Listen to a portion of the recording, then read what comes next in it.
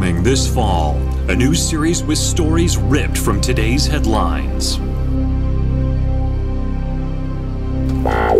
Hey!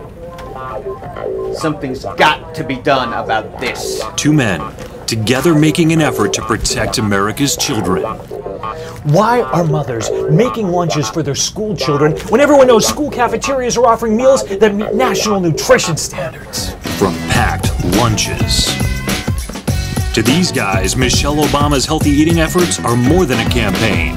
It's a way of life. Look what I found at the middle school, people. A donut. Let's move, people! Move, move, move, move! When it comes to packed lunches this season, expect the unexpected. Lunch! Look at this. Oh my word. It's the real thing. That's what I've been trying to tell y'all. Little Susie's been sharing this with her friends in the cafeteria. A pusher. Thanks for the tip, Hoagie Bear. We know what we have to do. Making sure homemade lunches meet national nutrition standards.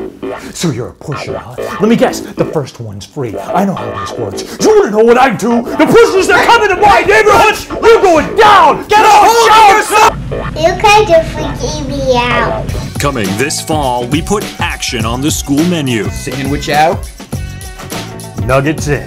with Sporky and Lunch.